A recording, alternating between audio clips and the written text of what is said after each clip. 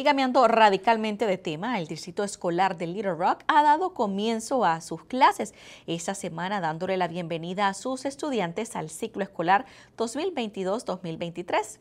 También le han dado la bienvenida al nuevo superintendente.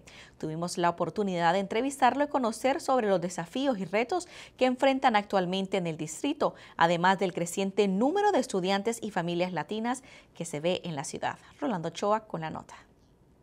La Junta de Little Rock da la bienvenida a su nuevo superintendente, el doctor Jamal Wright, nativo de Florida, quien viene con años de experiencia en educación desde 1997 como maestro de estudios sociales de quinto grado y escuela intermedia en Jacksonville, Florida.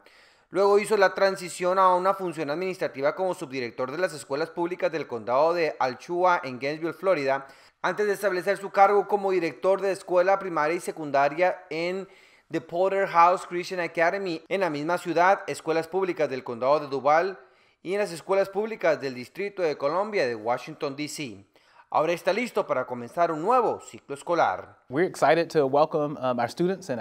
Estamos emocionados de dar la bienvenida a nuestros estudiantes, familias y a nuestros maestros a este regreso escolar 22-23. Sabemos que estos años han sido extremadamente difíciles y desafiantes para muchas personas por muchas razones, pero estamos emocionados de darles la bienvenida a nuestros estudiantes y a sus padres a volver a enfocarnos a la enseñanza y al aprendizaje y asegurarnos de que todos nuestros estudiantes reciban la mejor educación posible.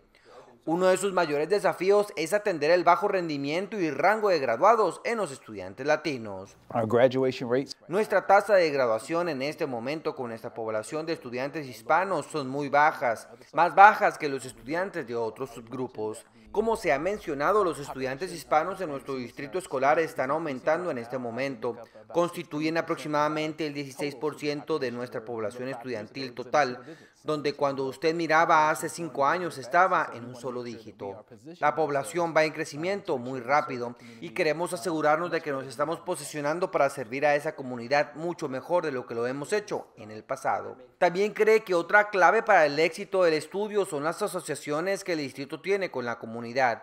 Es una razón por la cual decidió tomar este trabajo. Sé que hemos hecho algunas mejoras en los últimos años, especialmente porque la comunidad ha ido creciendo, pero sinceramente, si puedo ser transparente, tenemos mucho trabajo por hacer en esa área y parte de eso es lo que tenemos que hacer, es reclutar más empleados. Necesitamos más maestros, líderes escolares que hablen español para trabajar en nuestras oficinas de nuestro distrito, para que tengamos personas dentro, no solamente para comunicarnos con las familias y los estudiantes, sino también para hacer un lugar donde todos se sientan pertenecientes y bienvenidos. Así que tenemos mucho trabajo por hacer. El nuevo superintendente le da un saludo a la comunidad latina en busca de poder establecer una mejor relación con sus estudiantes y familias en un ambiente donde todos se sientan bienvenidos. Uh, Así que quiero hablar directamente a todos los padres y miembros de la comunidad.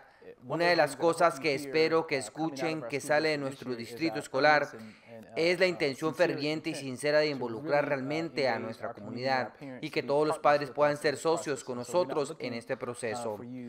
No los estamos buscando solo para asegurarnos de que los hijos hagan la tarea con usted, aunque sí queremos que lo hagan. Lo que queremos más es involucrarlos para que nos ayude a encontrar formas de servir mejor a la comunidad. ¿Cómo podemos ser un mejor distrito para la comunidad hispana? Mejorar los programas que tenemos dentro de la escuela y abordar los existentes problemas y garantizar que todos los estudiantes reciban la mejor educación posible. Nuestras líneas de comunicación siempre están abiertas para ustedes. Noticias de Arkansas, Rondo Choa.